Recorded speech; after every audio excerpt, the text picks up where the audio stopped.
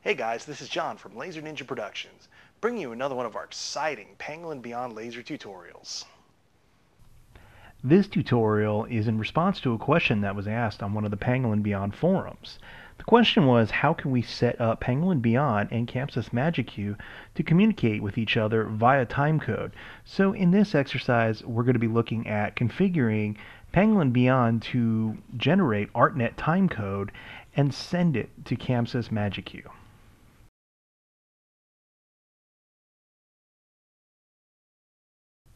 Let's take a look at Chamsys first. Now we're going to be using a show that has already been programmed and has been assigned to playback number one on my Chamsys MagicQ board. All the cues in this playback already have their timecode entries and the wait has been set to trigger via timecode. All of the entries from this playback are assigned from already existing cues. It's okay to have repeating cues inside of a playback.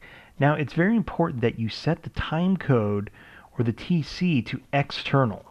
This can be done both from the soft button and by going into the options for this playback. Next, we're going to go ahead and configure MagicQ to receive timecode. Now, it is very important that you have some sort of official Chamsys hardware plugged into MagicQ. In my case, I have the PC Wing Compact. From the Setup menu, under View DMX I/O, make sure that you properly have ArtNet configured for inside of MagicQ. In my case, my ArtNet timecode is going to be received on ArtNet Universe 0. Next, we're going to go into the MIDI timecode soft button and then make sure that we have the timecode format and the timecode decode options all set correctly. In my case, I need to set my timecode decode to ArtNet. I already have timecode running in the background, so as soon as everything's configured correctly, I can see in the Chamsys status bar that I'm receiving timecode. Now that this timecode is configured and is working correctly, I'm going to go ahead and activate playback 1 and I can see that it automatically jumps to the correct cue.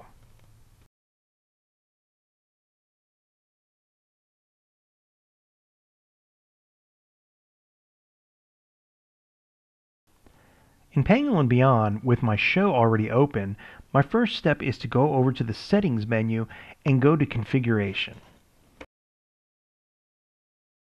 Next, go to the Timecode Out tab and set ArtNet timecode to the correct ArtNet universe.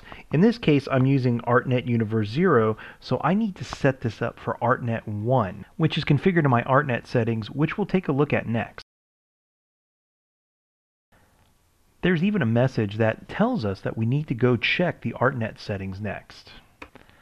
So go to the Settings menu, and then under DMX, choose DMX Settings. For Output Universe 1, I'm going to double check the settings to make sure that it is outputting to ArtNet Universe 0.